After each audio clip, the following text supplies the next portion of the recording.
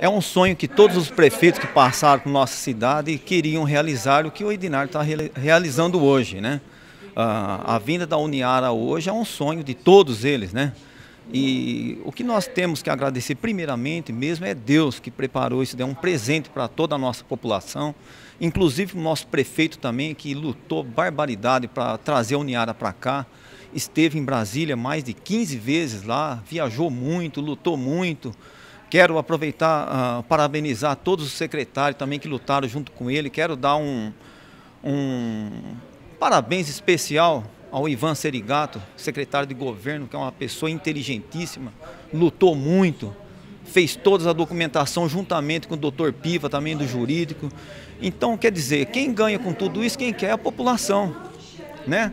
Além de gerar emprego para a nossa população, também indireta e indiretamente, né? E também, também vai alavancar a nossa economia, trazendo esse pessoal para cá, que vai gastar junto com a construção também, material de construção. Isso gera inúmeras, né? Inúmeros serviços. Então é isso daí. O que eu tenho que falar para vocês é parabenizar, né? Porque eu fico muito feliz em participar. Né? É, é uma honra votar a favor de um projeto desse.